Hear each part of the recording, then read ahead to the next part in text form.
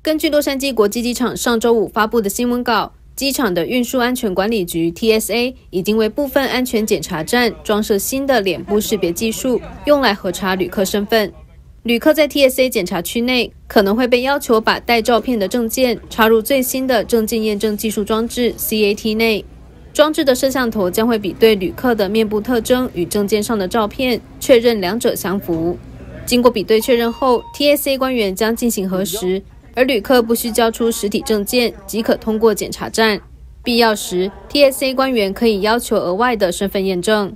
目前，TSA 正在通过已经安装的验证装置收集数据，衡量脸部识别与验证身份的速度和准确性。新闻稿指出，CAT 验证装置拍摄的照片将不会被储存或用于安检身份验证以外的任何其他目的。旅客也可以选择不采取脸部识别，并使用其他验证程序。新唐人洛杉矶记者站综合报道。